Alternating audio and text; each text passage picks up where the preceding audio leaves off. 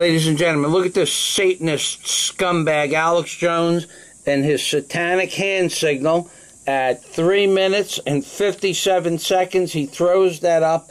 The link will be below. And at the top of the screen, he puts a skull and bones on the top of the screen because this Satanist scumbag, every single video, he talks about the globalists and this one he's talking about the globalists.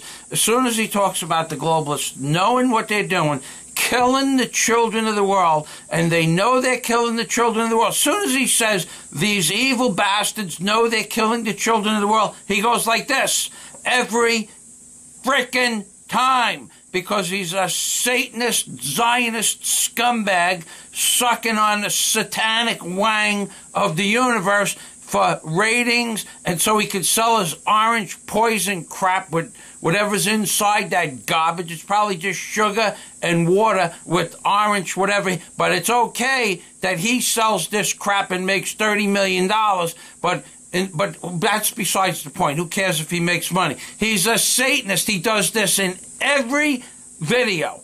Every video. He does this in every video. Who does this in real life?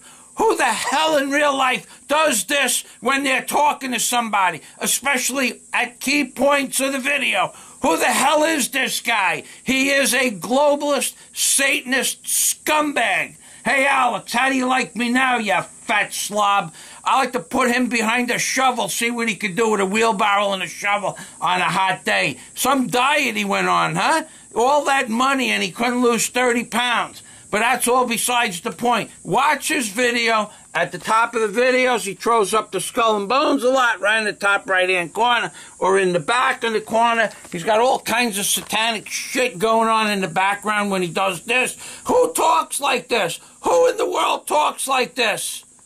And remember three things, ladies and gentlemen. If Mr. Obama had a son, and if Mr. Obama's son looked like Mr. Obama, and if Mr. Obama's son was like a Trayvon Martin, his son would be in cards playing hell with a pedophile priest. That's one. His son would look like Mr. Obama. That's a two. And his son would be dead. That's right.